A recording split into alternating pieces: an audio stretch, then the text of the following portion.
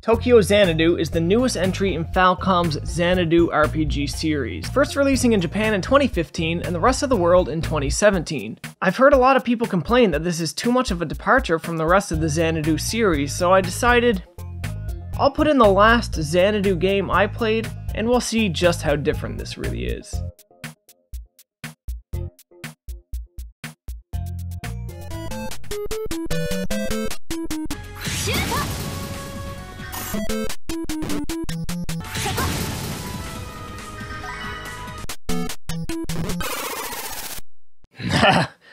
These games never change.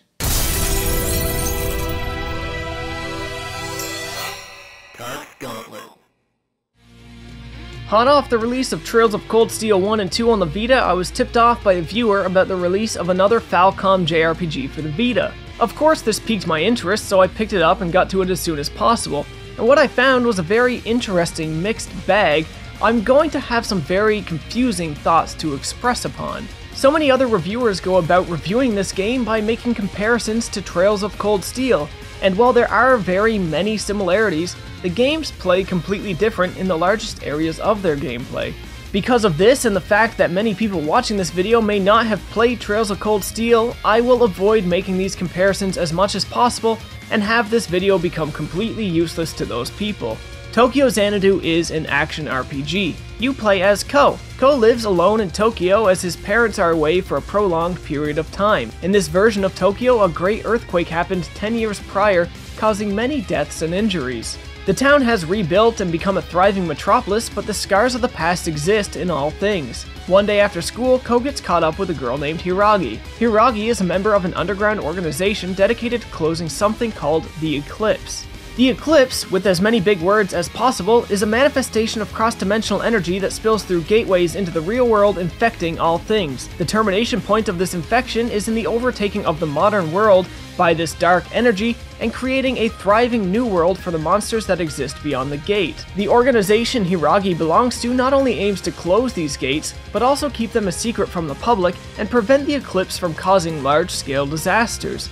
Certain special individuals possess a spirit energy that resonates with the power of the Eclipse and allows them to summon weapons in the presence of Eclipse energy. These weapons are known as soul devices. Only soul devices can damage the monsters in the Eclipse, and as such, those who possess soul devices are instrumental in closing the Eclipse gates. Over the course of the game, you will meet many people with resonant spear energy, and these will become your party members. The story in Tokyo Xanadu unfolds much like the arcs of an anime. Each arc involves a new mystery somehow tied to the Eclipse. It is your job to investigate the mystery, find out how it's linked to the Eclipse, and close the Eclipse gate that's causing it. While this formula never really gets old or boring, there's never a feel of anything truly overarching happening to tie them all together.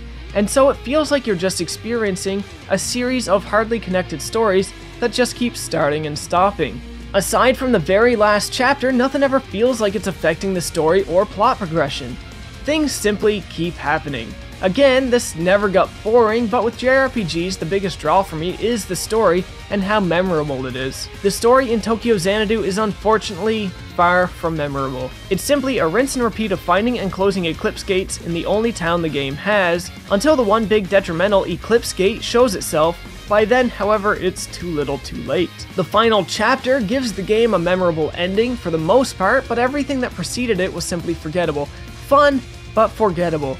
Truly, there is not much sense of gravity in this game at all, and even though the end was great, the epilogue chapter you get post-credits kind of ruins how good the main ending was. This rinse and repeat formula unfolds using two distinct sections of gameplay. The first section we'll talk about I'm going to dub the investigation section. The investigation section has you going all over town, spending time with your friends to raise your relationship levels with them, completing the optional side quests listed in your quest tab, and running from red exclamation point to red exclamation point until you arrive at an eclipse gate. Also during the investigation section, you can go to the arcade and play games like the always great Blade or do fishing or whack-a-mole minigames featuring cameos of characters from Trails of Cold Steel. For longtime Falcom fans, you will see a lot of references to their other IPs in this game, and it never actually comes off as intrusive.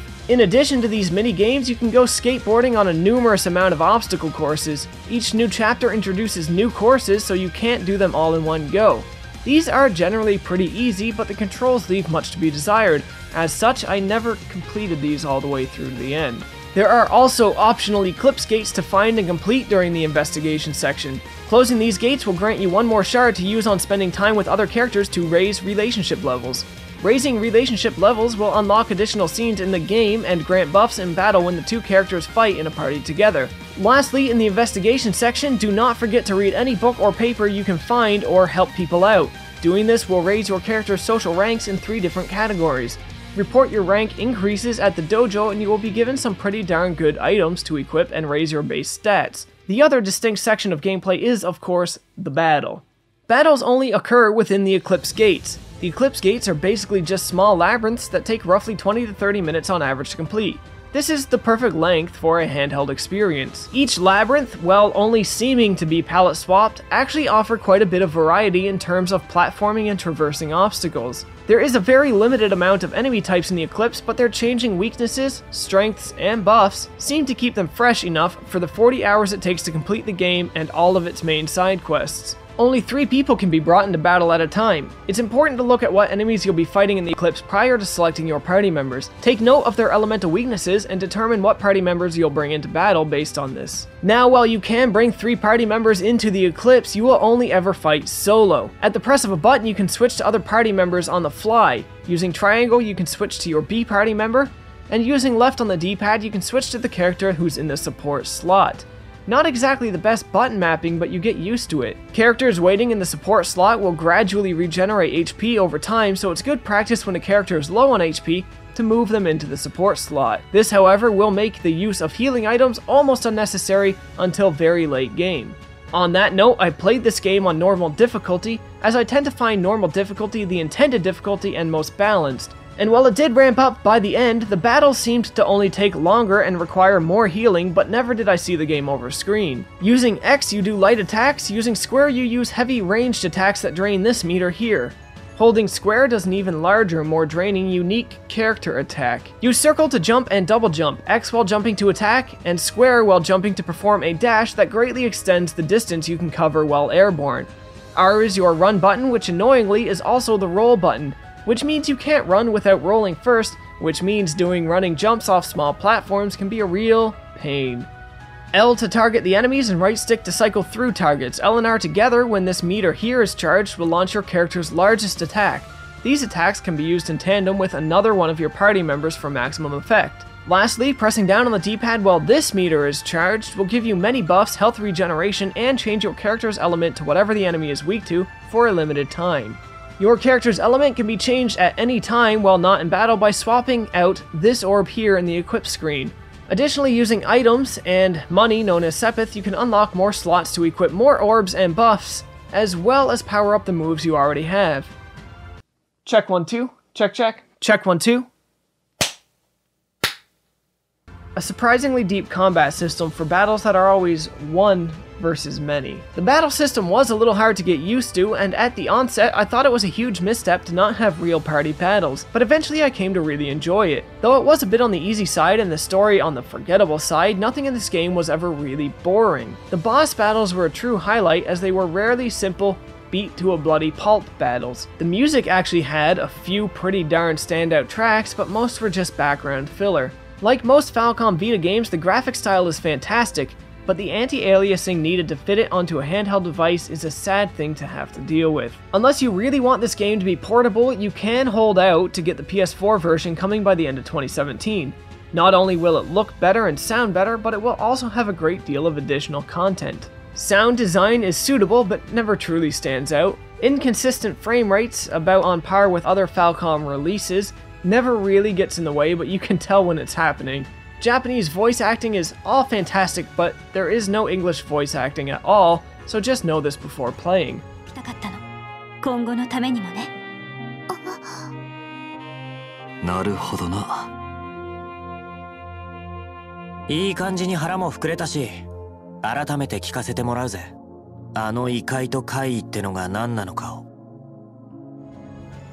While I am thankful Aksys put in the work to bring this game to North America, it has left me sadly missing Xseed's work. There are numerous translation errors in terms of typos and missing words, as well as oddities like fatal kill. Aren't all kills fatal?